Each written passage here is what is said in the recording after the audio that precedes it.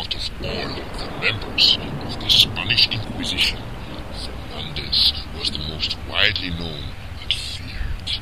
The Inquisitor was notorious for extracting confessions from the damned, even before their trials began.